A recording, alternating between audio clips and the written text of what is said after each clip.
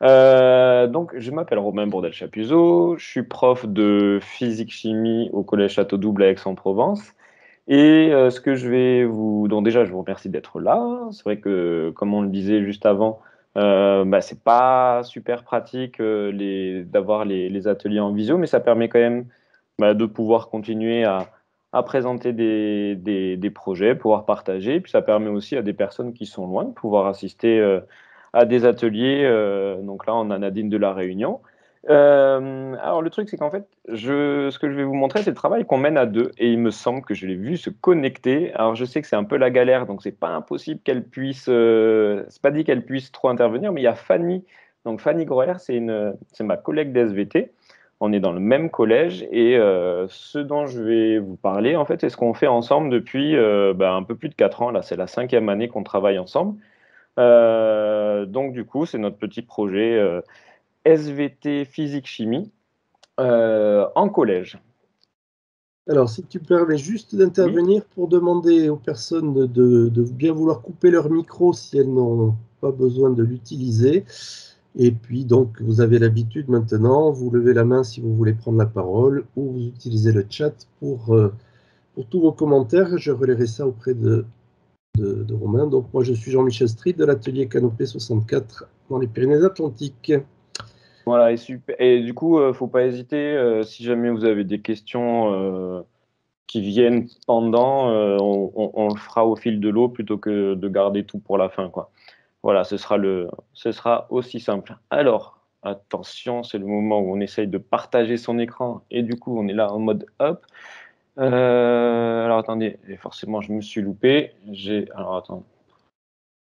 voilà, mais non, mais forcément, j'ai cliqué sur le premier truc qui ressemblait à ce que je voulais mettre, sauf que c'est les... je suis sur les deux, écrans et au lieu de eh cliquer sur la fenêtre, j'ai cliqué sur l'écran. Hop, voilà. Normalement, c'est euh, ma fenêtre qui apparaît, c'est bon? Oui.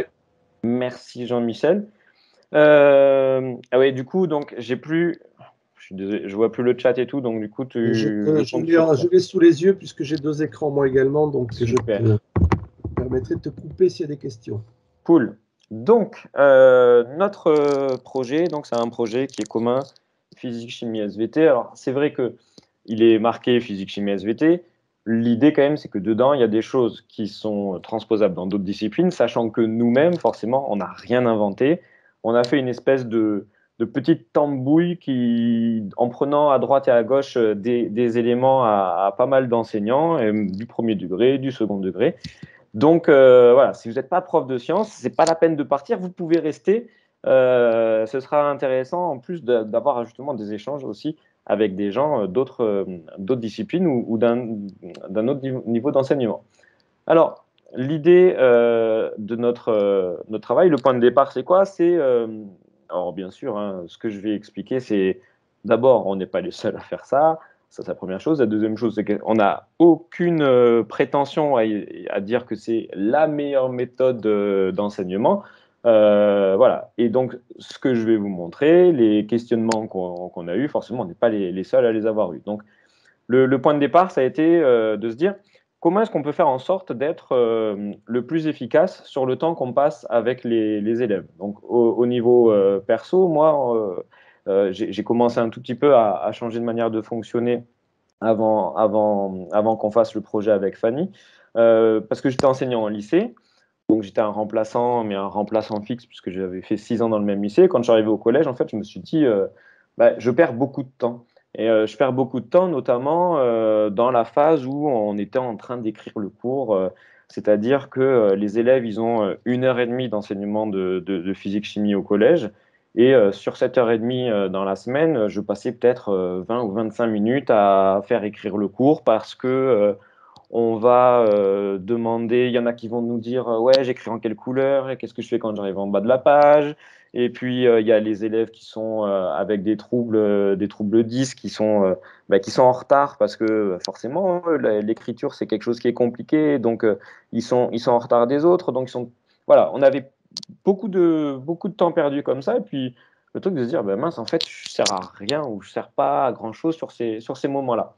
Donc, le point de départ, ça a été de se dire, ben, ce temps-là, plutôt que de le faire en classe, je vais l'externaliser. On va les élèves vont le faire en dehors de la classe. Alors, la, majeure partie des cas, ça, va être à la maison, mais ça peut aussi se faire en, PERM, ça peut se faire au CDI.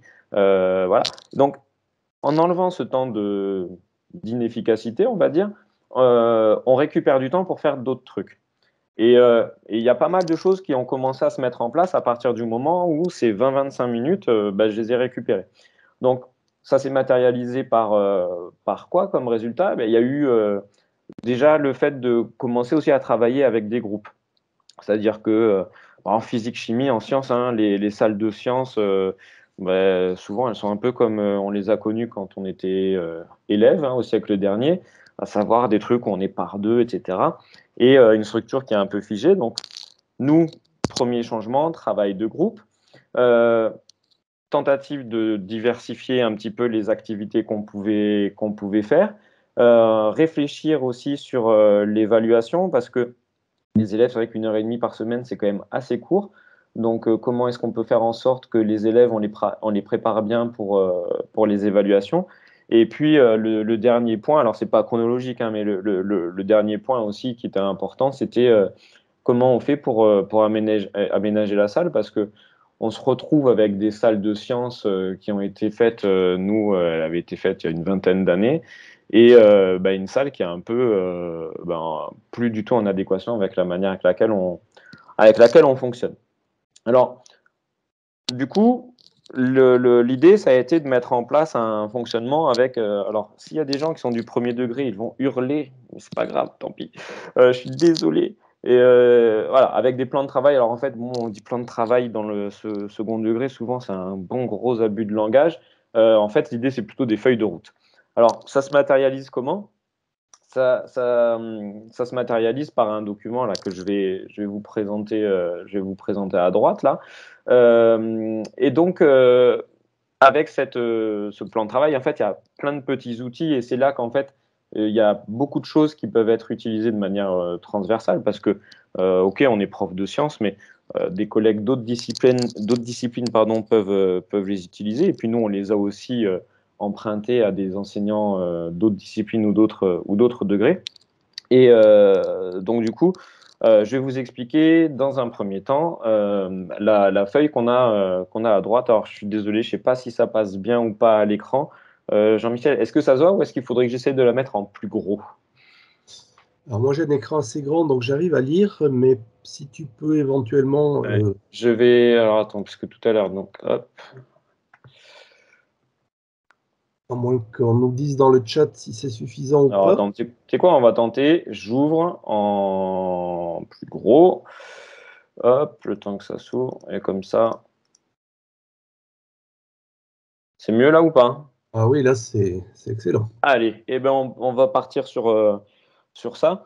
Alors en fait, ce, ce, plan de travail ou cette feuille de route, euh, ben, quand je vous dis qu'on a des inspirations euh, qui viennent un peu partout, celle-là, on l'a quasiment pompée à une prof de physique-chimie de lycée qui s'appelle Florence Raffin, qui est dans l'académie de, de, Poitiers, qui, enfin, qui est donc au lycée à Bressuire, et qui est une enseignante de physique-chimie donc en lycée, et avec qui je me suis retrouvé à échanger grâce à, grâce à la magie de Twitter. J'étais tombé sur son travail, puis on a commencé à discuter un petit peu. Et euh, bah, on, a, on a récupéré en fait un petit peu son, sa présence, son mode de fonctionnement pour le, pour le mettre au, le mettre au, collège. Alors l'idée c'est que cette feuille, donc euh, je vais la balayer, je suis désolé, je la balaye juste euh, rapidement pour vous la montrer. Donc cette feuille, c'est une feuille que tous les élèves vont avoir, qu'on va, leur, qu'on va leur distribuer et qui vont coller dans, le, dans, le, dans leur cahier. Et euh, l'idée de cette feuille, c'est qu'elle va euh, annoncer un petit peu bah, tout ce qu'on va faire euh, et tout ce qu'il faudra aussi savoir faire pendant une durée qui dure, alors nous, six semaines. Donc, alors les six semaines, pourquoi? C'est totalement arbitraire et c'est aussi un petit peu suite à notre, notre expérience. déjà, le premier truc, c'est qu'on voulait un nombre de semaines paires puisque euh, nous, on a un fonctionnement semaine A, semaine B avec les, classes qui sont dédoublées, et donc euh, c'était plus simple de tomber sur un nombre de semaines paires.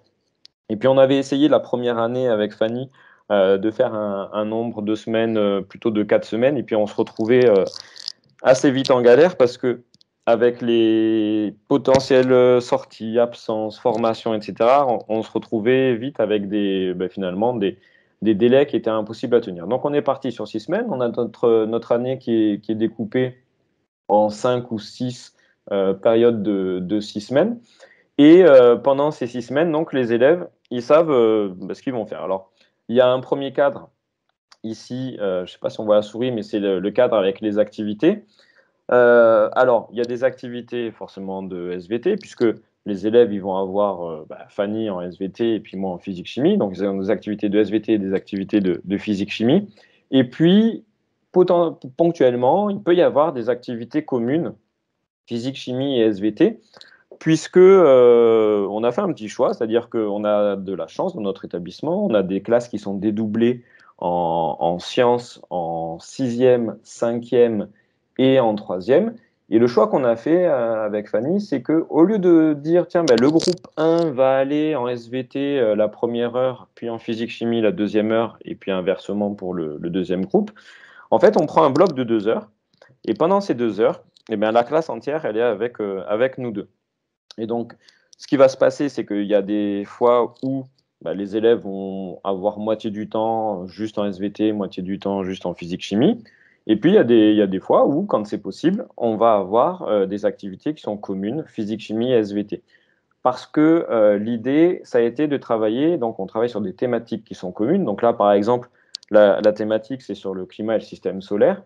Et euh, bah, un truc qu'on avait un peu remarqué quand on ne travaillait pas ensemble, c'est que bah, le système solaire, par exemple, les élèves, quand ils, ils, cloisonnent à mort, quoi. C'est-à-dire que le système solaire qu'ils peuvent voir en physique-chimie, bah, étrangement, c'est pas le même système solaire que celui qu'ils voient en, SVT. Et euh, il n'y avait pas forcément de connexion faite entre ce qu'ils pouvaient voir en physique-chimie et en SVT, alors que finalement, bah, c'est le même soleil, c'est les mêmes planètes, etc.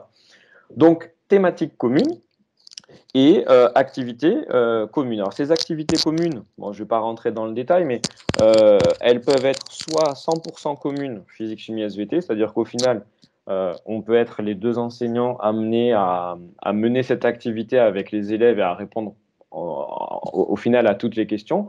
Ou alors ça peut être euh, des activités dans lesquelles il va y avoir euh, de, la SVT, puis de la physique-chimie, puis de la SVT, et en fait les deux disciplines comme ça qui viennent en complément, en complément l'une de l'autre. Donc la partie activité, alors je vous montrerai après le déroulé sur les, sur les six semaines un petit peu comment ça se, comment ça se goupille. Ensuite, alors, il y a une partie ressources que je vous montrerai aussi. Alors, les ressources, en fait, c'est essentiellement des, vidéos. Euh, alors, ça peut être aussi des sites, hein, mais c'est vrai que c'est pas mal de vidéos de cours. Donc, euh, le, questionnement qu'on a eu aussi, c'était comment on les met à, disposition des élèves. Donc, je vous le montrerai aussi tout à l'heure. Là, c'est juste pour vous présenter un petit peu cette fiche.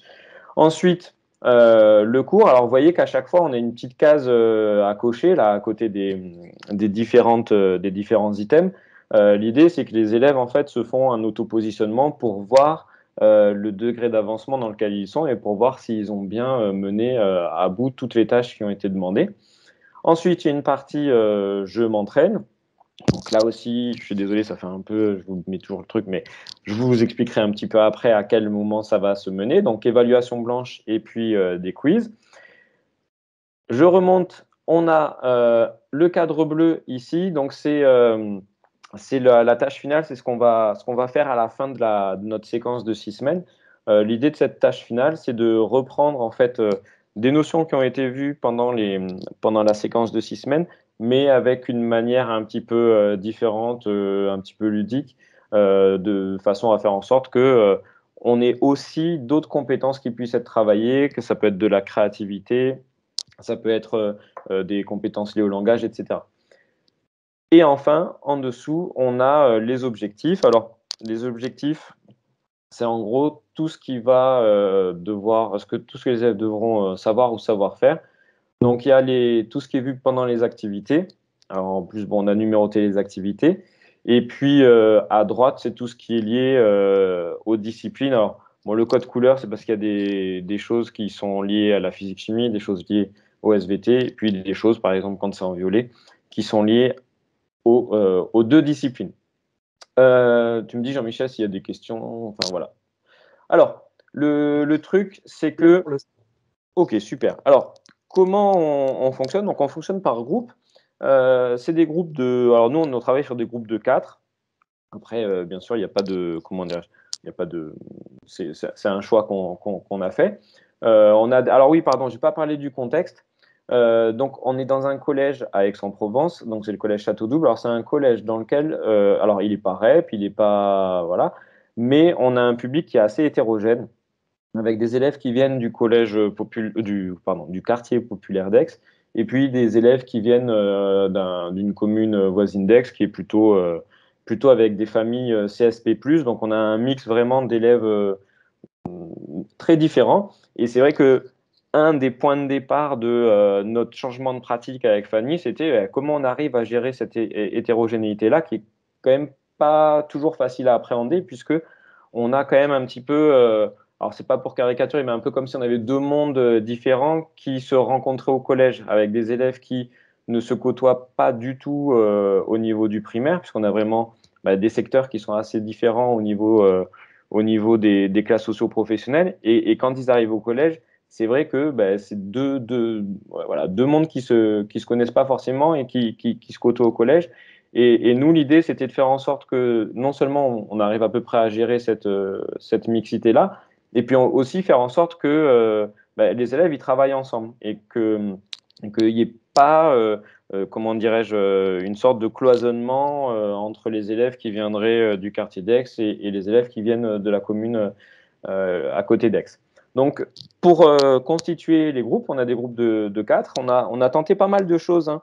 Alors, euh, bon, je sais qu'il y, a beaucoup de manières de fonctionner pour les, constitutions de groupes. Alors, nous, on a fait euh, des groupes par affinité, on a fait des tirages au sort, on a fait des groupes imposés par nous deux, on a fait des groupes par affinité modulés par nous deux, on a fait des sociogrammes, c'est-à-dire que les, gamins nous disaient avec qui ils souhaiteraient travailler et avec qui ils, savent qu'ils ne pourront pas travailler. Et puis, euh, au final, la, façon qu'on garde pour le moment au niveau de la constitution des groupes, c'est euh, le tirage au sort. Et pour, euh, pour faire le tirage au sort, je ne sais pas si ça apparaît en gros ou pas, bon, je vous explique ce qu'il y a sur la, photo. En fait, c'est qu'on a des, a des cartes. Donc, on est prof de sciences, donc on a des cartes avec des, scientifiques dessus. Donc, on a, on a des cartes euh, avec quatre cartes Marie Curie, quatre cartes euh, euh, Archimède, quatre cartes Isaac Newton, etc. Et donc, les élèves tirent les cartes au sort et quand ils, ils sont avec la, même carte, ils sont dans le même groupe. Voilà. Alors, l'avantage, c'est que ça permet d'éviter un peu le syndrome de l'arbitre de foot, quoi. C'est-à-dire que on peut avoir assez régulièrement, ouais, mais pourquoi je suis pas avec un tel, pourquoi je suis avec machin, etc. Là, c'est tirage au sort. Alors, bien sûr, hein, euh, si jamais on sait qu'il y a des élèves qui ne peuvent pas du tout euh, travailler ensemble, on, change. Mais voilà, on, travaille pour le moment. C'est plutôt le, mode de fonctionnement qu'on a. C'est le, tirage au sort au niveau des, groupes. Euh, je sais qu'il y, a des collègues qui, font différemment. Mais voilà, nous, notre retour, c'est que c'est le mode de fonctionnement qui, qui fonctionne pas trop mal. Alors, le truc, c'est que donc on a des classes, euh, alors ça je ne pas parler, mais on a des classes euh, normales hein, au niveau effectif. Hein. on a des classes à peu près à 28 euh, au collège. Donc vous voyez, ça nous fait à peu près à chaque fois 7 groupes de 4. Alors des fois on a des classes à 30, des fois des classes à, 25, 26, mais en gros on n'a pas des effectifs réduits. Et le souci qu'on peut avoir, c'est le souci des déplacements, c'est-à-dire bah, quand on a du matériel à aller chercher, quand il faut aller chercher des activités, etc. Ça peut vite devenir le bazar. Donc, euh, pour pouvoir gérer à, peu près euh, tout ce qui est euh, déplacement, on a attribué aux élèves, enfin, les élèves s'attribuent dans le groupe des rôles. Donc les rôles, il y en a peut-être qui les ont vus sur les, la, fiche que je vous ai montrée tout à l'heure. Là, c'est le, le, pardon, le tableau qui est en haut. on a quatre rôles. Donc avant, on avait, avant le Covid, dans ça paraît super loin maintenant, bah, avant le Covid, en fait, les, élèves ils mettaient un petit badge euh, autour, de cou, autour du cou, pardon, comme ça, ça nous permettait de, visualiser euh, assez facilement qui faisait quoi.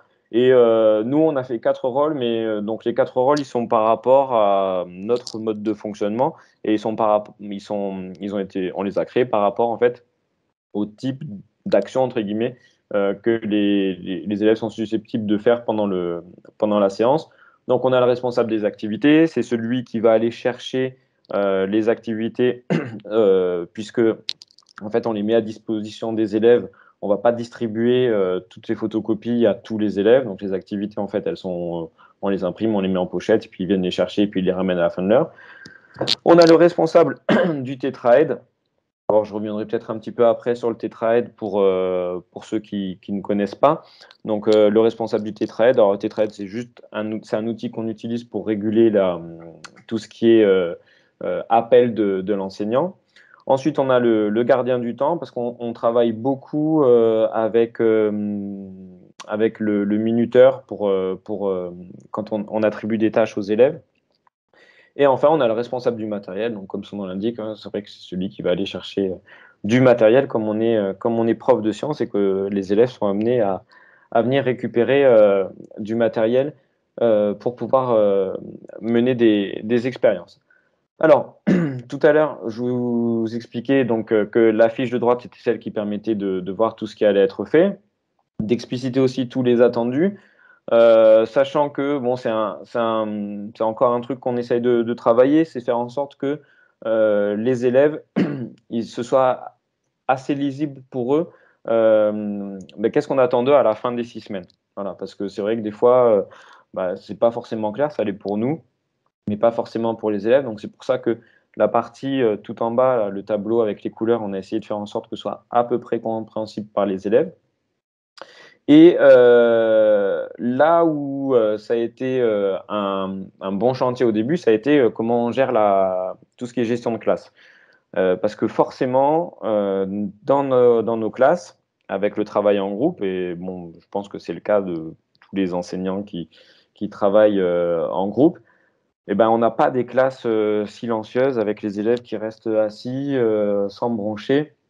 Donc, on peut avoir vite une sorte de bazar ambiant avec beaucoup de bruit, etc.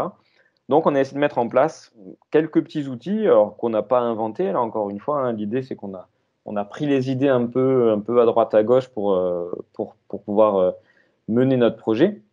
Alors, j'en ai, mis, euh, ai mis trois des outils. Alors, ça paraît peut-être pas en grand. Je vous explique chaque, chaque photo. Pardon. Donc, à gauche, c'est un outil qui s'appelle Classroom Screen. Euh, il y en a un autre qui s'appelle DigiScreen qui fait, euh, qui fait la même chose. Donc, euh, l'idée de cet outil, c'est que c'est un outil qu'on peut projeter. Il n'y a pas de, il a pas de, comment dire, il n'y a pas besoin de créer un compte, etc. C'est tout en ligne. Et il y a pas mal d'outils intégrés. Donc, il y a un feu tricolore, il y a le minuteur, il y a le chronomètre, il y a l'heure, il y a des tirages au sort possibles, il y a le fait de pouvoir écrire le texte. Enfin, bref, il y a plein de petits outils comme ça qui sont relativement pratiques. Et l'avantage, c'est qu'en plus, ils sont tous euh, concentrés justement avec euh, cette, euh, plateforme, la Classroom Screen. Et donc, nous, c'est vrai que là, sur la, photo que j'ai mise, les deux trucs qu'on met assez souvent, c'est l'heure et le minuteur, pardon, de manière à faire en sorte que que les, on puisse mener les tâches et que les élèves voient aussi, euh, bah, tiens, il leur reste cinq minutes pour pouvoir euh, finir l'activité, etc. Le deuxième outil, euh, c'est celui que je vous ai mis au milieu, là, avec le truc coloré. Donc ça, c'est le, le.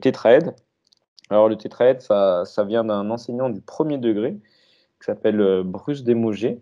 Et l'idée, c'est que quand on travaille en groupe, on l'a tous, je pense, déjà vécu, c'est le souci des appels c'est-à-dire les, groupes qui appellent l'enseignant.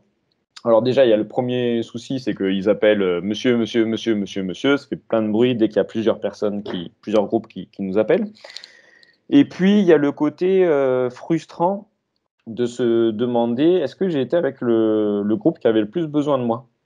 Donc, chaque groupe, en fait, a ce tétraède-là. Alors, bon, nous, on a une version qui est euh, imprimée 3D, mais on trouve plein de patrons en ligne pour les avoir en papier. Nous, on les avait en papier au début. Le principe de cette petite pyramide, c'est que en fonction de la couleur qu'on va mettre euh, sur le sommet, le message euh, qui est envoyé va être différent. Donc, quand les élèves euh, travaillent, n'ont pas de difficultés particulières, ou en tout cas estiment ne pas avoir rencontré de difficultés particulières et que donc ils n'ont pas besoin qu'on vienne les voir, ils mettent le vert au niveau du sommet et ça veut dire que tout va bien. Donc nous, ça ne nous empêche pas d'aller les voir, mais voilà, c'est un groupe qui normalement ne rencontre pas de difficultés. Euh, arrive le moment où un groupe se retrouve en difficulté et a besoin que l'enseignant vienne. là, il va avoir deux options. Soit il a une question qui euh, qui n'est pas urgente, c'est-à-dire qu'ils ont une question, ça ne les bloque pas nécessairement pour continuer. Dans ce cas-là, ils vont mettre euh, le sommet euh, jaune en haut. Donc ça veut dire que j'ai une question, mais il n'y a pas d'urgence à ce que vous veniez tout de suite. Et ensuite, l'autre possibilité, c'est à l'aide. C'est-à-dire que là, les, les, élèves sont en grosse, grosse galère. Ils ont besoin qu'on vienne les voir euh, tout de suite. Et dans ce cas-là, ils vont mettre le rouge. L'intérêt, il est euh, double. Premier intérêt, même triple. On verra. Premier intérêt, déjà, c'est que les élèves, il va falloir qu'ils se posent la question de euh, quel est le niveau de comment dirais-je quel est le niveau d'urgence à leurs questions. Donc déjà, c'est de se dire est-ce que je suis bloqué pour pouvoir continuer à mener l'activité ou pas? La deuxième, euh, le deuxième intérêt, c'est pour l'enseignant, c'est que ça va permettre d'aller vers le groupe qui normalement a le plus besoin de nous à l'instant T. C'est-à-dire que forcément, on va aller vers le groupe qui est en rouge avant d'aller vers le groupe qui est euh, en jaune. Et le troisième intérêt, c'est que les groupes savent pourquoi on est allé voir celui d'à côté et pas eux en premier, parce que celui d'à côté était en rouge et pas eux. Parce qu'il y a plein de fois où, des fois, on va voir un groupe. En fait, la question, euh, on aurait pu euh, la faire, enfin, attendre 5 minutes pour les voir. Et puis à côté, il y a ceux qui sont en grande, en grande galère qui attendent. Donc voilà, donc le tétraède, clairement, euh, si jamais vous ne connaissez pas ou si jamais vous l'avez jamais utilisé, bah, je vous le conseille. Vous tapez tétraède sur Internet. il y a plein de. On trouve des patrons en ligne. je suis désolé. Et vous avez juste à imprimer, découper et ça marche bien. Alors, euh, la troisième photo, là, c'est une petite sonnette euh, type sonnerie de réception d'hôtel. Alors, c'est pas contrairement à ce qu'un enseignant, une fois, a balancé euh, en voyant qu'il y avait une sonnette dans notre classe. C'est pas les élèves qui ont ça pour nous appeler en mode venez tout de suite, monsieur, là, garçon, il me faudrait un café pour la une. Non, la sonnette, en fait, c'est nous qui l'avons. Et l'idée de la sonnette, c'est juste faire en sorte que bah, quand on estime qu'il y a euh, trop de bruit ou quand on a besoin d'un petit, euh, petit temps d'attention parce qu'on a une information à faire passer aux élèves et à tous les élèves, dans ce cas-là, on, appuie sur la sonnette. Et en parlant, je suis en train de me dire que j'ai oublié le tétraède de, donner la quatrième couleur. Je suis étonné. Euh, soit vous connaissez tous le tétraède, soit vous n'êtes pas comme les élèves, parce que les élèves, à chaque fois, ils me disent Eh monsieur, le bleu, ça sert à quoi?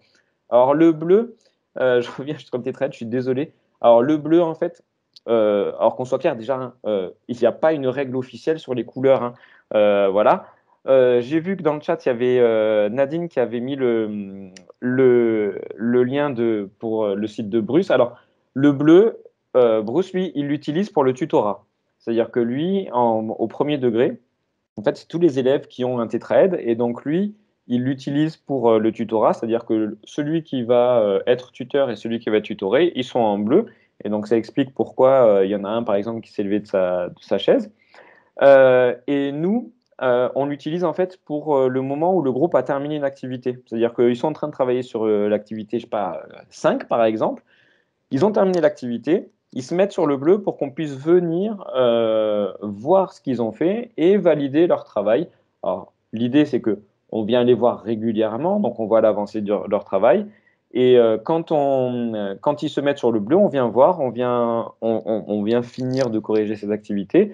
Et puis, euh, on a un petit tampon smiley. Et quand, euh, quand bah, l'activité, ils l'ont menée de manière correcte, hop, on tamponne les cahiers avec le petit smiley. Et croyez-moi, c'est vrai que s'ils n'ont pas eu leur smiley, ils sont pas contents et vont nous le réclamer. Alors, le, bleu, je vois, passer sur DigiScreen aussi qu'il y a le niveau sonore. Donc, effectivement, DigiScreen et Classroom Screen, ils, font le niveau sonore. Alors, le seul truc, c'est qu'ils font un micro, ce qui n'est pas toujours le cas quand on a euh, un poste fixe, euh, une unité centrale fixe, mais on peut, on peut mettre un petit micro euh, acheté pas, pas, très cher. Et, moi, ce que j'avais essayé avec le bleu, euh, alors, c'était pas de moi l'idée, hein, c'était Florence Raffin, la collègue euh, dont on s'est inspiré pour les, pour les fiches. Euh, elle, elle le faisait par rapport au bruit. C'est-à-dire que les groupes, quand ils étaient euh, dérangés par le bruit, ils se mettaient sur le bleu.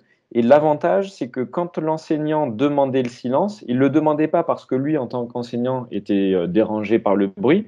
Il le demandait parce que euh, en fait tous les, il y avait plusieurs groupes qui étaient euh, dérangés par le bruit. Voilà. Mais encore une fois, chacun est libre d'utiliser euh, d'utiliser ce tétrade en, en, attribuant les couleurs qu'il souhaite, enfin le, le, type de message aux couleurs qu'il souhaite.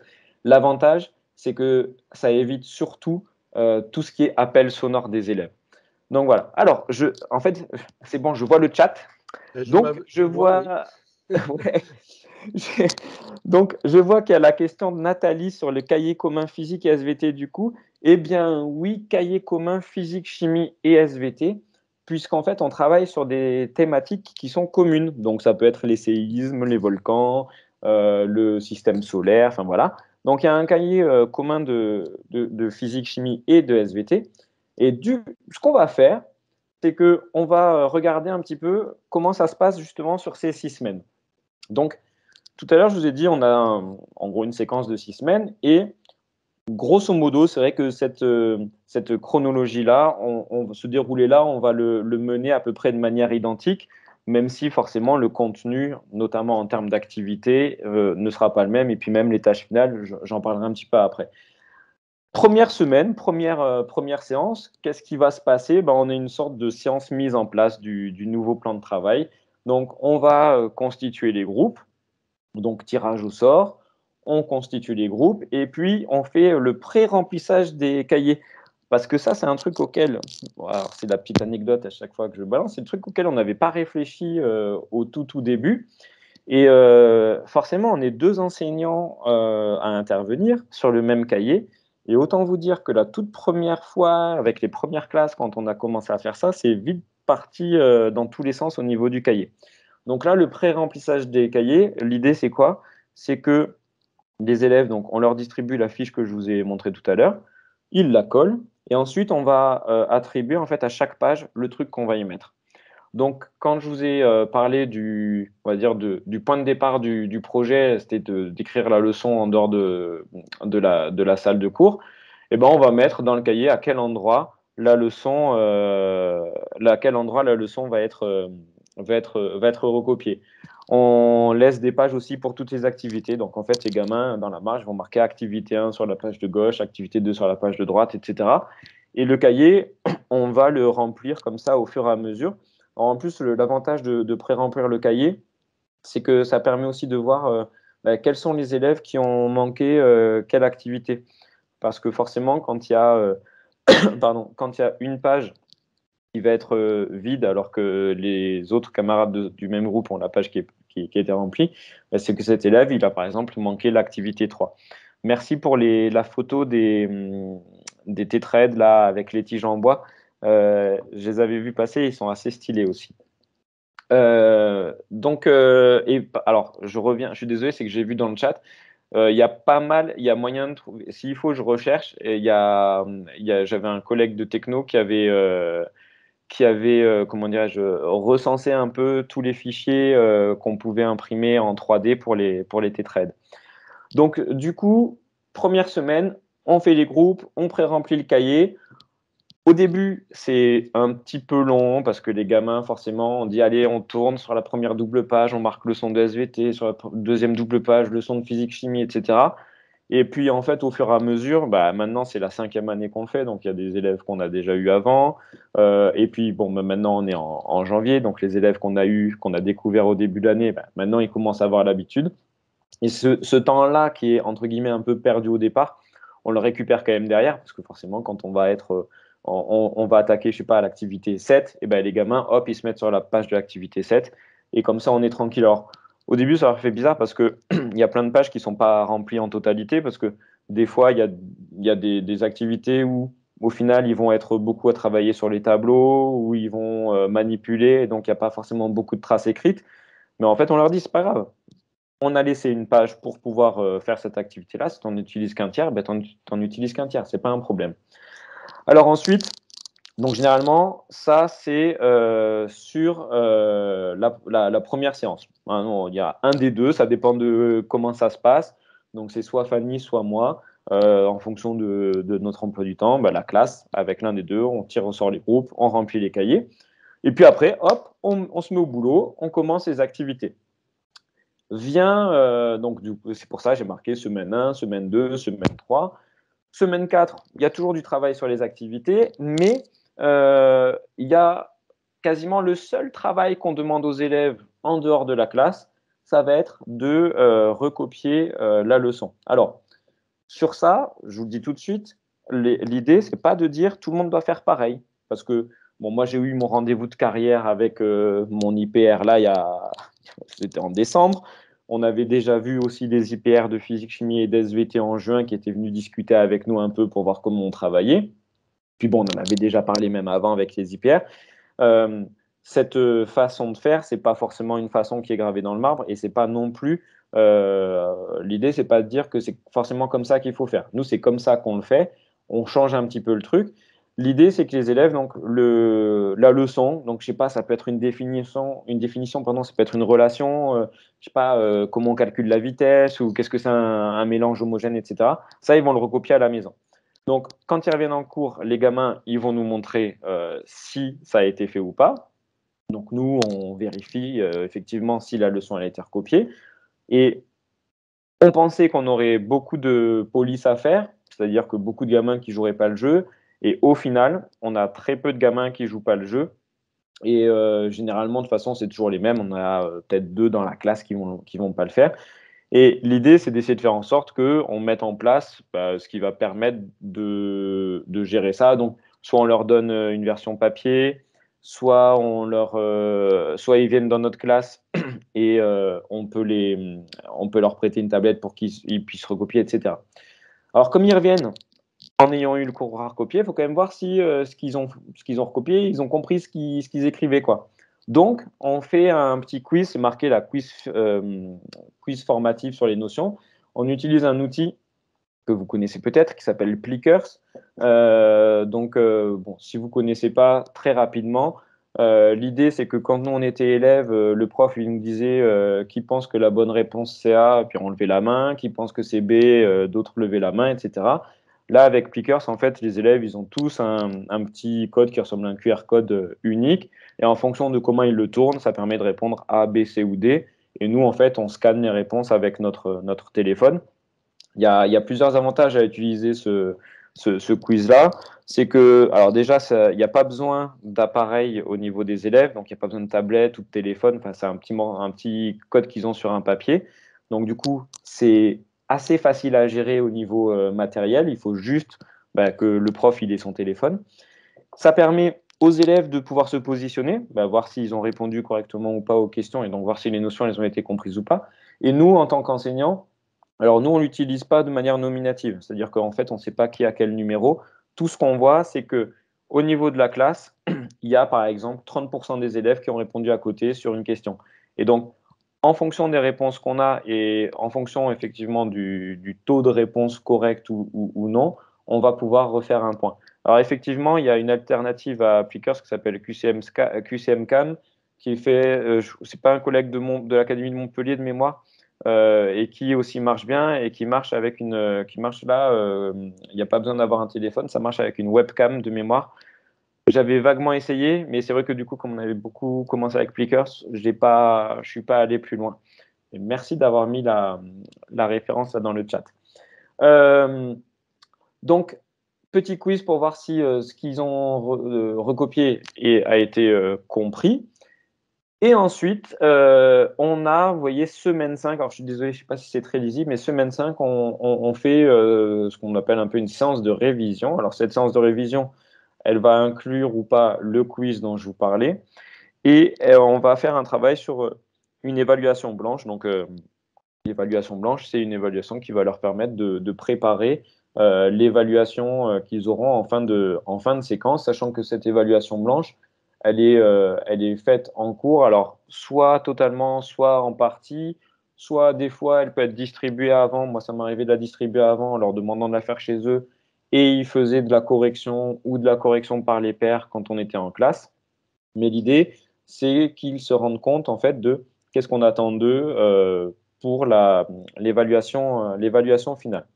Et enfin, dernière semaine, généralement, y a, on, fait deux trucs. Ben, il y a une évaluation, parce que ben, forcément, euh, alors on est dans un collège où il y a des notes.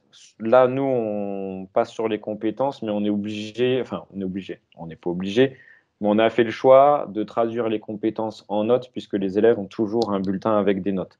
Donc, euh, donc voilà. Et la deuxième chose qui est faite sur, euh, sur cette dernière semaine, c'est la tâche finale dont je vous parlais euh, tout à l'heure. Alors, je crois que j'ai mis sur une slide, mais c'est pas grave, je vais, je, vais, je vais en parler un petit peu. la tâche finale, c'est. sinon, je, Hop, voilà. Les tâches finales, en fait, il y a, plusieurs trucs qu'on peut faire. Alors, les trucs un peu que les gamins ils aiment bien, bah, on fait une maquette du système solaire dans la, dans la salle. Donc, l'idée, c'est de travailler notamment sur les échelles. C'est-à-dire qu'on travaille sur la, représentation du système solaire avec un système d'échelle au niveau de la taille des planètes et puis des distances qu'il y a dans le système solaire. Donc, ça leur permet de, voir quand même, ou de, comment de prendre conscience plus facilement bah, de, des dimensions dans le système solaire, les traditionnelles maquettes de volcans, et puis après, il y a pas mal de, de, on fait pas mal de travail aussi sur les, créations de, de questions euh, c'est-à-dire que effectivement, si on dit à des gamins, euh, je pense que vous l'avez tous déjà un petit peu vécu, quoi. Bah, euh, vous pouvez réviser. Oh, ok, ils prennent le cahier, ils lisent, ils lisent vaguement. Il n'y a pas grand-chose qui se passe. Par contre, dès qu'on leur dit, allez, vous créez des questions. Donc, ça peut être alors, on aime bien les quiz intergroupes, c'est-à-dire qu'en fait, les gamins, ils vont préparer plusieurs questions, nous, on en sélectionne, et puis on en sélectionne 10 ou 20, ça dépend. Et puis ensuite, on les, on les, comment on les projette à la classe et tout le monde, tous les groupes doivent répondre. Euh, dès qu'on leur demande, donc, je suis désolé, c'est pas un peu dans tous les sens quand je parle. Euh, dès qu'on leur demande de créer des questions et de travailler en fait non seulement sur la question, sur la bonne réponse, mais aussi sur les mauvaises réponses, parce qu'on est sur des, des, QCM, bah, tout de suite, il y a une activité qui est quand même plus intense que euh, simplement euh, réviser, le, réviser la leçon. Donc du coup, voilà, c'est, je n'ai pas listé toutes les tâches finales qu'on fait, mais l'idée, c'est de reprendre ce qui a été vu d'une autre manière. Il y, a des, y a des tâches finales, par exemple, où ils doivent écrire un courrier, euh, parce que, alors c'est surtout un SVT qui le font, ou un article de journal, enfin voilà, il y a pas mal, il y a pas mal de, modalités différentes de, façon à faire en sorte que les gamins, ils s'engagent dans le travail d'une manière un petit peu plus, un petit peu plus ludique. Alors, je vous ai mis ici euh, quelques, quelques photos. C'est vrai que au tout début, quand on a dit le cours, il sera à écrire à la maison, euh, bah, on s'attendait pas forcément à, plusieurs, euh, plusieurs conséquences. Alors, la première conséquence, ça a été un retour de parents d'enfants de 10. on n'avait pas forcément anticipé ça. Et en fait, c'était un retour qui était positif. C'est-à-dire que hum, les gamins, alors, au, début, c'est vrai qu'on n'avait pas donné de consignes par rapport aux enfants qui, présentaient des troubles, notamment au niveau de l'écriture. Mais le, retour qu'avaient fait les parents, c'est que eh ben, les, enfants avaient le temps qu'il leur fallait pour pouvoir euh, écrire la leçon. Et très vite, en fait, on a aussi modulé cette euh, tâche-là, c'est-à-dire que ben, l'idée, c'était pas que les gamins ils passent 4 heures à recopier la leçon. Donc, ce qui s'est passé pour les enfants, euh, les enfants 10, généralement, c'est que on leur permettait de ne pas recopier la leçon, de l'imprimer, par exemple, ou de faire ça sur l'ordinateur si jamais il y en avait certains qui, utilisaient l'ordinateur. Et euh, assez souvent, ce qui se passe, c'est que les, gamins, ils, font le choix quand même d'en faire une partie. Mais euh, voilà. Et l'autre, l'autre, l'autre chose qui est quand même ressortie, c'est que les gamins étaient très très attachés à leur cahier et étaient assez attachés au fait que leur cahier soit plutôt beau. Et euh, donc, alors bien sûr, j'ai quand même sélectionné quelques photos de, cahiers avec des, des, cours qui avaient été euh, recopiés avec pas mal de soins. Mais ce qui était intéressant, c'était de voir que euh, la, contrainte, la, seule contrainte qu'on leur mettait, c'était de recopier ce qui, avait, ce qui était mis à disposition. Mais par contre, ils étaient totalement libres sur, sur la, forme et sur la manière d'agencer euh, le cours. Donc, il n'y a pas de grand 1, il n'y a pas de grand 2, etc. Et en fait, on s'est rendu compte qu'il y avait des gamins qui reprenaient soit exactement la présentation telle qu'elle avait été mise en ligne, il y avait des, élèves qui reprenaient en mettant des numérotations avec, euh, on, dirait, on pourrait dire, euh, une sorte de, de, paragraphe traditionnel, un grand 1, grand 2, etc. Et puis il y en avait certains qui, bah, parce qu'ils étaient à l'aise avec, euh, avec l'écriture, parce qu'ils avaient un peu de créativité, etc., bah, du coup, ils s'emparaient du cours. Et donc, je sais pas, par exemple, si on prend celui-là, je sais pas si on le voit en, grand, clairement, ça ressemblait pas à ça sur la version qu'on avait mise en ligne.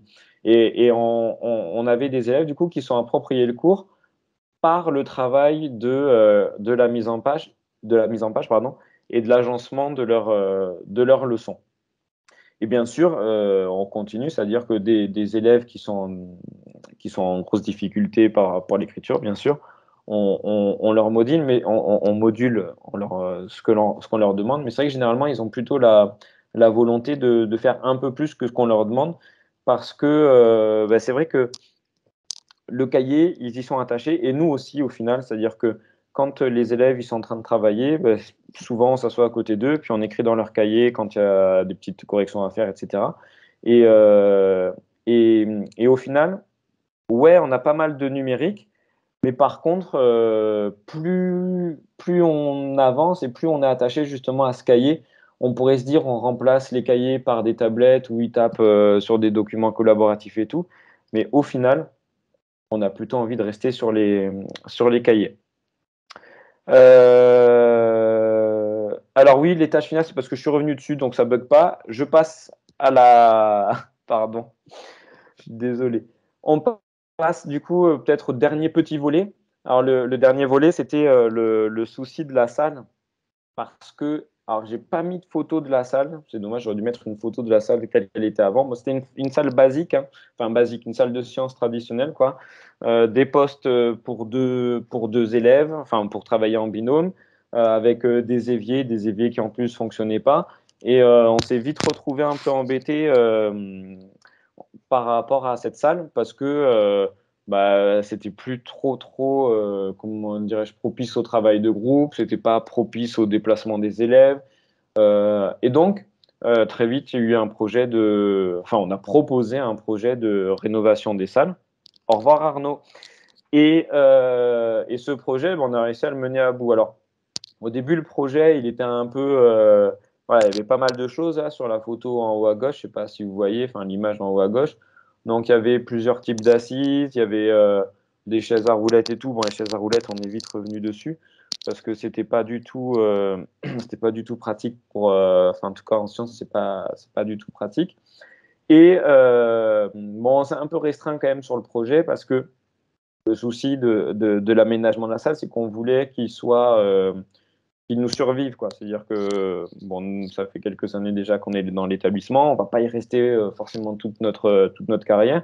Et il faut que des gens qui travaillent d'une manière différente de nous puissent quand même enseigner dans cette euh, classe-là. Donc en fait, le choix qu'on a fait au final sur notre, sur notre salle, c'est de prendre des, des tables 3, 4, 5.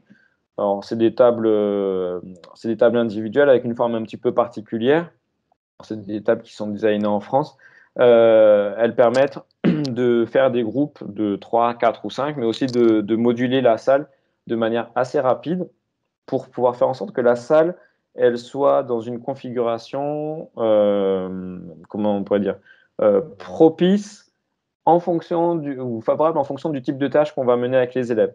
Donc par exemple, si on a besoin de faire un groupe de 3, on peut bouger l'étape de manière à faire en sorte qu'on ait un groupe de trois et que les élèves soient à une distance qui soit correcte, avec un espace de travail qui soit, euh, qui soit, qui soit pratique. On peut faire des groupes de 4 aussi euh, là très facilement, des groupes de 5. Hop, je passe sur là. C'est pas super pratique quand c'est en visio, voilà, des groupes de 5. Mais on peut aussi faire. Euh, donc des fois, ça arrivait qu'on soit à deux avec Fanny, et puis en fait, on avait chaque moitié de classe qui était sur un type de tâche, et puis on se disait, tiens, ça pourrait être pas mal qu'en fait tous les élèves ils soient sur la même table quand ils sont avec euh, l'un ou avec l'autre. Et donc, du coup, on peut euh, très facilement créer euh, deux grandes tables ou, alors on travailler sur des affiches et faire en sorte qu'on ait un, grand support de, un grand support de travail. Et donc, avec cette salle-là, c'est vrai qu'elle ressemble un peu moins à une salle de sciences par rapport à l'imaginaire qu'on pourrait avoir, encore que on a toujours, euh, ben justement, maintenant on a des éviers qui, évacuent bien, l'eau. Euh, mais par contre, l'avantage qu'on a, c'est qu'on va clairement pouvoir euh, changer la, configuration de la salle rapidement en fonction du type de tâche que l'on mène avec les élèves, et puis la remettre aussi en configuration un petit peu habituelle très très très rapidement. Et après, on teste des trucs, c'est-à-dire que là, la photo que je vous ai mise, c'est la photo de la salle, euh, la configuration standard telle qu'elle était il y a quelques temps. Là, on a changé. Voilà, ça permet aussi de, de, changer et de, tester des, configurations qui, collent à la manière avec laquelle on fonctionne, euh, Fanny et moi.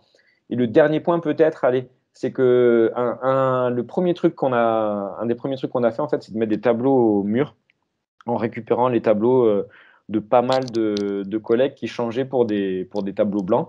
Donc on a récupéré les tableaux à craie et euh, clairement, ça nous a permis déjà de commencer à changer de manière de fonctionner pour 0 euros. Donc, euh, donc voilà, je pense que globalement, j'ai à peu près tout balayé. Niveau timing, on n'est pas trop mal puisqu'il est 16h13. Ben, merci de nous avoir écoutés. Alors, enfin, de m'avoir écouté. Je suis désolé parce que je ne sais pas si Fanny elle est toujours là ou pas et je ne sais pas si elle peut trop parler ou pas. Euh, donc, si voilà, j'ai mis nos deux mails si jamais il y a besoin de nous contacter. J'ai vu tout à l'heure le message par rapport au, au, Geniali. Euh, ce que je fais, c'est que je prends juste hop, trois secondes pour le mettre dans le chat. Normalement, ça ne devrait pas tarder. Voilà, parce qu'il y a quelqu'un qui le demandait. Et puis, euh, ben voilà, s'il y a des questions, ben moi, je veux bien y répondre. Ou si et où il y a des, des comment dirais-je des, partages d'expérience aussi parce que euh, l'idée euh, c'est pas de dire que nous on a la vérité absolue parce que sinon ce serait trop beau mais euh, peut-être aussi il y a des collègues qui ont des, des, choses à partager et ça peut être intéressant de, de les entendre. Merci Romain, on va attendre. Moi j'ai une petite question. pourquoi cahier et pas classeur? Ah, pourquoi cahier et pas classeur? Alors, le truc, c'est qu'on a quelques élèves qui ont un, qui ont un trieur. Alors, en fait, il y a deux, y a, on va dire, il y a deux raisons pour le cahier. Première raison, si tu veux, c'est que on n'est pas les seuls profs de sciences dans notre, dans notre établissement. En fait, on est deux profs de physique chimie et deux profs de SVT. Et euh, les, fournitures demandées sont communes à tous les, à tous les enseignants. Donc euh, nous, par exemple, du coup, les gamins, ils, sont, ils doivent venir au début d'année, enfin, ils doivent acheter un cahier de SVT et un cahier de, physique-chimie. Donc, ce qu'ils font avec nous, c'est qu'on prend le premier cahier, on l'utilise euh, première moitié de l'année. Donc, euh, ça peut être le cahier qui était censé être physique ou SVT. Et le deuxième cahier, on le prend en deuxième, deuxième partie d'année. alors, le perso, le cahier, c'est plus pratique, ça prend moins de place parce que, mine de rien, les gamins, ils ont des sacs qui sont vite euh, volumineux. Et euh, l'avantage, c'est bête, mais il n'y a pas de feuilles volantes, quoi. Donc mhm. on n'a pas, on n'a pas ce souci-là. Et c'est vrai que, alors, nous, on, on, distribue peu de feuilles, c'est-à-dire que les, les, gamins, quand ils ont des, des documents euh, distribués, en fait, ça peut être des, des, petits tableaux, des petits schémas, des trucs comme ça, mais ils n'ont jamais la feuille d'activité à mettre dans leur cahier, puisque la feuille, en fait, elle est mise à disposition sous pochette transparente mais après on les récupère. D'accord, merci. Alors, euh, la question sur est-ce qu'on travaille toute l'année comme ça? Alors oui, on travaille toute l'année comme ça. Et comment ça se passe sur les thèmes peu communs? Alors, les thèmes peu communs, eh ben, les thèmes peu communs, des fois, euh, en fait, euh, ben, on les travaille. ils ont une feuille, mais le titre, il est, il est, il prend, enfin, il, il, traite deux thèmes différents. C'est un peu le souci. On essaye de faire des trucs. Alors, par exemple, il y avait un truc qui me un thème qui me posait un peu souci, c'était la reproduction. Euh, parce que en physique chimie, je voyais pas trop comment je pouvais caler les trucs sur la reproduction. Et en fait, euh, l'astuce, c'est que la reproduction, je travaille un peu sur tout ce qui est échographie, donc ça permet de travailler sur euh, le son, tout ce qui est lié aux fréquences, aux ultrasons, tout ce qui est lié à vitesse de propagation, enfin lien vitesse, distance, etc. Donc on arrive des fois à trouver un peu des trucs. L'électricité, alors l'électricité, ouais, pour le coup, euh, on n'a pas encore fait de trucs communs, mais euh, je désespère pas un jour d'arriver à trouver euh, une entrée qui puisse être lisible par les élèves. Mais effectivement, il y a des fois où ça colle pas, quoi. Hein. Et bon, ben, on peut pas non plus faire tout toujours en commun à 100%, quoi.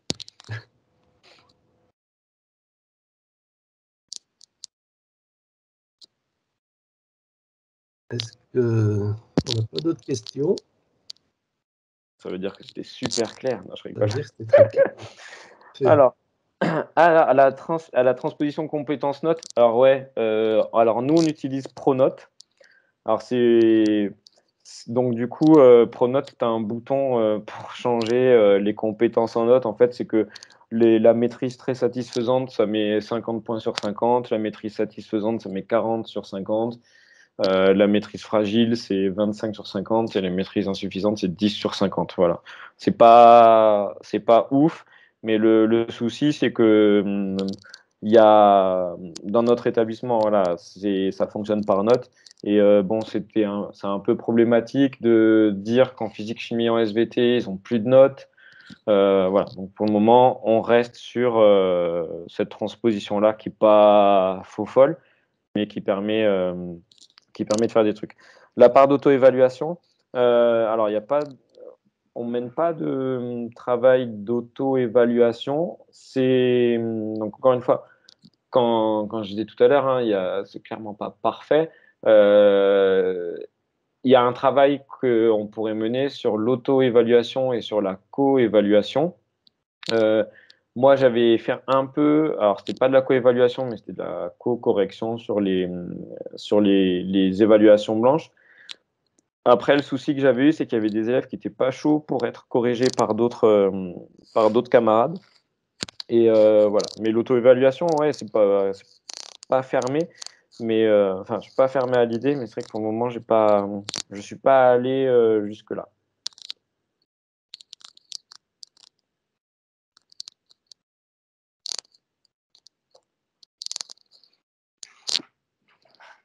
Vous pouvez ouvrir vos micros si vous souhaitez poser des questions. Oui, oui, oui. Alors, je peux, eh, je peux même aussi arrêter le partage d'écran. Et voir, les caméras.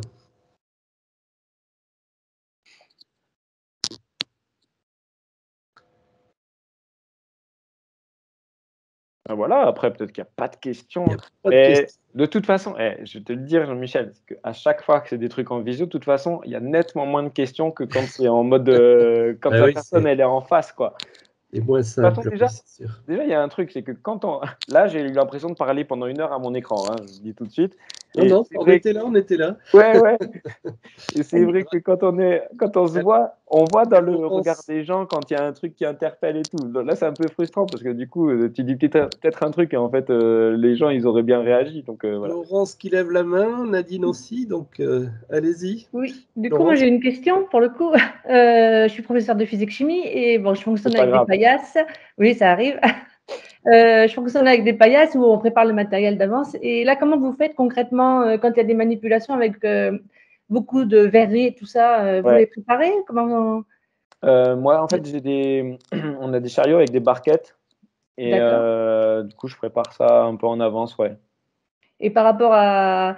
Enfin, moi, j'axe beaucoup sur la sécurité et sur les paillasses. C'est vrai que sur les paillasses, c'est quand même plus facile. Comment vous faites sur les tables comme ça? Il n'y a pas de, de, chute Non, ben, alors, tu sais, en fait, alors l'idée, le, le truc, c'est qu'au début, les paillasses, déjà, moi, le premier truc que j'ai fait, quand on a commencé à travailler, c'est j'ai viré les rebords qu'il y avait sur les paillasses. Parce que quand on demandait aux élèves de travailler par groupe, en fait, ceux qui étaient devant, ils devaient se tourner hop derrière. Et le problème, c'est qu'il y avait l'espèce de petit bandeau là qui empêche de, de, de, se tourner. Donc, je les ai virés. Et quand je les ai virés, en fait, il n'y a pas plus de trucs qui sont tombés qu'avant. Donc, euh, voilà. Après, l'aménagement qu'on a, c'est un aménagement que Perso, je préconiserais pas pour le lycée, parce que effectivement, au niveau matériel, tu peux pas mettre des, des, gros trucs. Euh, pour ce qu'on fait au collège, tu veux, euh, donc si c'est par exemple tu vois, des tests d'adhésion, la combustion, des trucs comme ça, en fait, avec l'étape qu'on a, ça, enfin, il n'y a pas de souci. J'ai pas de casse, j'ai pas de casse particulière. Après, on a quand même une paillasse. alors nous, on a une paillasse sur roulette une, grande paillasse sur roulette, euh, où il y a possibilité de mettre un peu de matériel s'il y, a, y a besoin. Et si vraiment euh, il y avait grosse galère, en fait, on a la salle d'à côté, où on a aussi, il y a eu aussi une rénovation qui a été faite, et il n'y a que des paillasses sur roulette. Mais si tu veux, pour le moment, il n'y a pas eu de, j'ai pas eu de, de, de problème de, me limiter sur ce que je faisais avec les élèves à cause de, cet aménagement-là. Sachant qu'en plus, moi, un des gros problèmes que j'avais, c'était quand même la vaisselle. Euh, parce qu'avant, on n'avait pas d'évier qui fonctionnait bien. Et là, maintenant, on a trois points d'eau euh, dans la salle. Et donc, euh, bah, de ce point de vue-là, j'ai nettement moins de soucis. quoi. D'accord, bon, c'est intéressant. Donc, je peux enlever les dossers Ah ouais, ouais, alors les... Bon, c'est enregistré, mais j'assume ce que je vais dire. Il y a un principe simple, c'est que quand on veut faire un truc, en fait, parce qu'il vaut mieux le faire et puis le dire après plutôt que demander la permission avant. Parce que, parce que si tu demandes à ton, ton chef d'établissement si tu peux enlever les petits, les petits bandeaux, il va dire qu'il faut qu'il regarde, je sais pas quoi.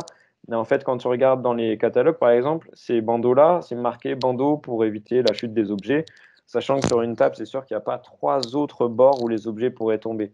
Euh, et, et, alors moi, ce que j'ai fait, c'est que je suis venu avec ma, ma visseuse, hein, je les ai tous virés, j'ai tout gardé.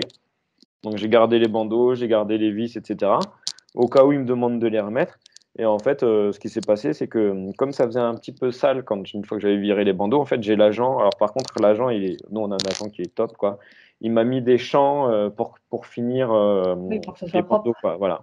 D'accord. voilà, mais il y a, y a, eu avant qu'on que le on a, bon, on a eu de la chance. Le, le projet de rénovation, il s'est fait super vite. Euh, parce qu'en gros, il s'est passé peut-être deux ans entre le moment où on en a parlé avec les chefs et le moment où ça s'est fait. Euh, bon, il y a eu plein de circonstances voilà, qui ont fait que ça a pu se faire, euh, se faire rapidement. Mais avant d'avoir ces, ces travaux-là, en fait, ce qui s'est passé, c'est qu'on on avait quand même fait des aménagements pour 0 euros. Donc, virer les bandeaux, les tableaux au mur, ça avait coûté 0 euros puisque c'était de la récup. Euh, nous, on avait un gros souci du bruit avec les tabourets parce qu'on avait des vieux tabourets où on n'avait même plus les caoutchoucs dessous. Donc, on avait mis des balles de tennis sous les, sous les tabourets. Euh, Qu'est-ce qu'on avait fait d'autre? Je sais plus. Enfin, voilà, il y avait plein de trucs qu'on avait fait comme ça. Euh, si on veut des tableaux, il y a aussi des feuilles électrostatiques qu'on peut mettre sur les fenêtres. Enfin, voilà, il y a, plein de petites astuces qu'on peut faire comme ça pour déjà modifier la manière avec laquelle on peut fonctionner dans une salle sans que ça coûte des, milliers ou des dizaines de milliers d'euros parce que bah, forcément, nous, les salles, quand, euh, quand ils les rénovent, c'est tout un chantier parce que nous, ils ont dû boucher les, tout ce qui était arrivé d'eau, bah etc. Enfin, voilà. Puis arrivé électrique aussi. Ouais, donc nous, l'électricité, ce qu'on a, c'est qu'en fait, euh, on a l'électricité qui est sur les murs. Ah oui, nous, tout, tout est sur les paillasses, donc c'est difficilement modifiable euh, sans bah, gros travaux. voilà, nous, ça a été modifié parce qu'on est des gros travaux. Ouais. D'accord, très bien. Merci beaucoup. De rien. Merci Laurence. Euh, une dernière question de Nadine, parce que la session va s'interrompre dans cinq minutes. Ouais. euh... Alors non, ce n'est pas une question, c'était juste pour euh, vous remercier, parce que je sais à quel point c'est désagréable pour en avoir fait un certain nombre de cours en ligne, euh, d'avoir l'impression d'avoir personne en face et de parler tout seul. Donc euh, merci beaucoup d'avoir tenu, et puis c'était super intéressant. Et puis je vous enverrai un mail, je pense, pour vous demander l'autorisation d'utiliser notamment l'idée du plan de travail. Alors moi, je suis plutôt premier degré, mais maintenant, je suis formatrice en numérique éducatif. Et on essaie justement de, faire en sorte que les futurs profs euh, n'utilisent pas le numérique à tout prix, mais euh, de façon pertinente. Et je trouve que votre exemple est assez bon. Et, euh, et l'approche par compétence est intéressante aussi. Et je pense que c'est des choses à montrer également bah, dans le premier degré différemment et aussi aux autres formateurs dans les autres domaines. Voilà. Donc, je vous remercie beaucoup pour cette présentation. Eh ben, c'est gentil. Eh ben, merci. Puis, merci à tous ceux qui sont restés jusqu'au bout. Et puis, euh, ben, je désespère pas quand même un jour pouvoir venir soit à Pau, soit à Bayonne en vrai, quoi. Parce que l'année dernière, ça s'est pas fait. Cette année, ça s'est pas fait. Après la ouais. dixième vague. C'est ça, voilà.